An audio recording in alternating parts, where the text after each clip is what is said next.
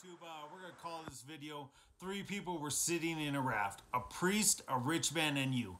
And yeah, I know, man, it sounds like the start of a really bad joke, but we'll get back to the title here in a second. Let's start by reading the verses for this video. We're going to read in John chapter 3, verses 16 through 18. It says, For God so loved the world that he gave his only begotten Son, that whoever believes in him should not perish but have everlasting life.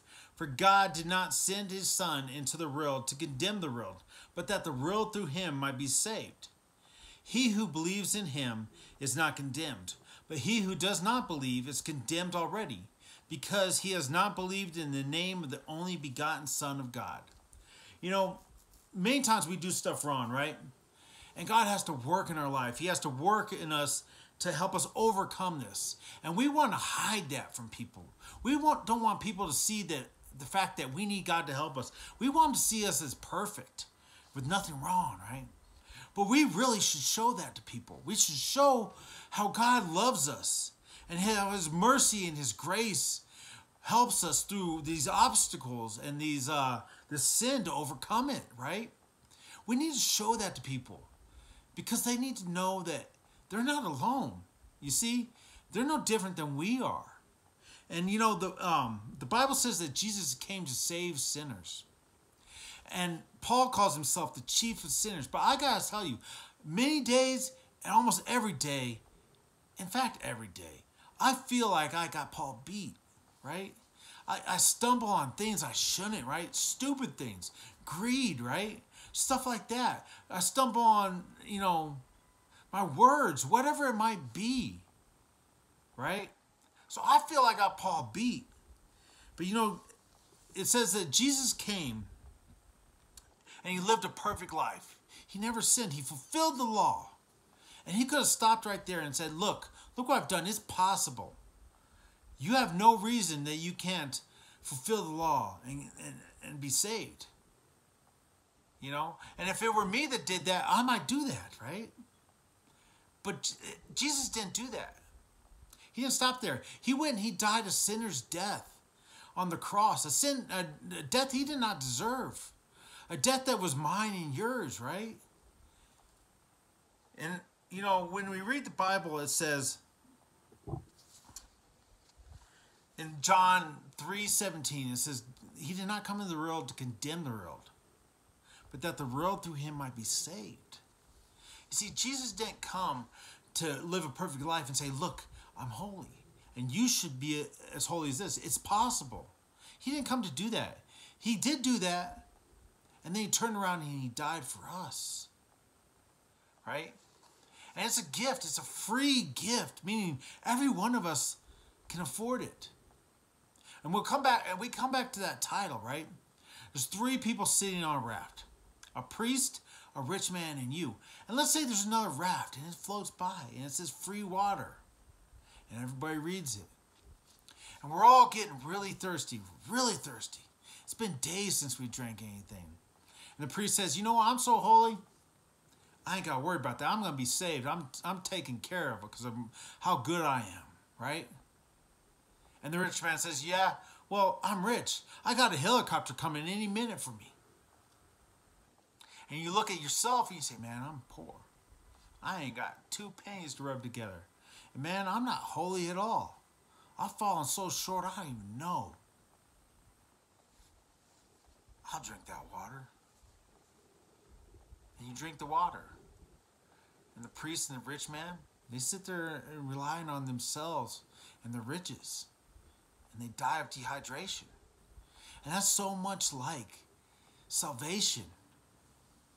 You know, we think that we can attain it by our works or we can buy it, or we can just inherit it. It doesn't work that way. You have to accept it, right? It says that if you don't accept it, Jesus in your life, in this, these Bible verses, that you're condemned already. You're already headed to death, right? And, you know, many people, they stumble on the idea that a holy and loving God would send people to hell.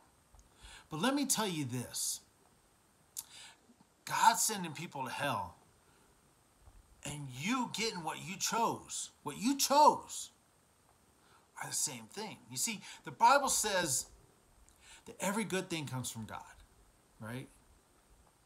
But you don't want nothing to do with God. And you know what? God, God, He created this place for the devil and the demons, right? And it's a place called hell. It's a place where He was not.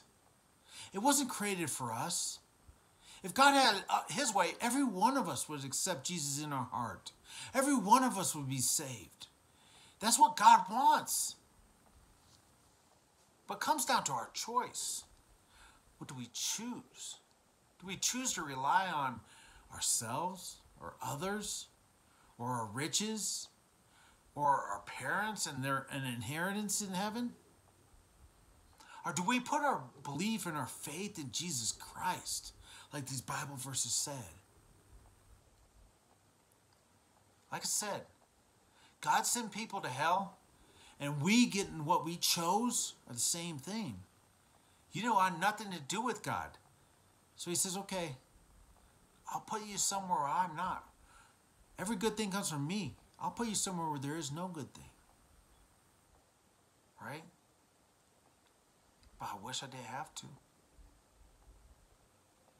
In fact, I gave everything so I, I wouldn't have to. But you got to accept that, right? You got to put your faith in God. He did everything on the cross.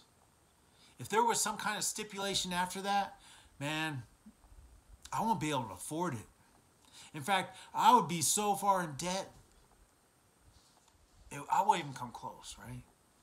Thank goodness it's a free gift that everybody can, and that everybody can have. And when we accept Jesus in our heart, you know, it's crazy. He calls us holy and acceptable. But we're, uh, you know, we didn't deserve it. In fact, uh, the pastor at my church, or one of the pastors at my church, this last week said a statement. It caught me and it just touched me, right? And he said, You know, when we get saved, we're adopted children of God. And in these passages, we said, the only begotten Son of God, right? Jesus, Jesus Christ. It's almost like saying, He's the only by blood, or only actual son, but we are the adopted children of God. We get the same inheritance. We get eternity with Him if we accept Him. The question is, what do you want? Yeah, you might not want to go to hell, but you want nothing to do with God. You see, them two things can't exist in the same area, right? See, God's a just God. He's going to give you what you deserve, what you want. He's not going to force this stuff on you. He's, and he can't change. It's how he is. It's how he always will be. It says God can't even look upon sin. He's so just and holy. Because if he did, he wouldn't be who he is. But he cannot change. So what are you going to choose today? Are you going to put your faith in Jesus Christ? Are you going to put are you going to drink the water that's free?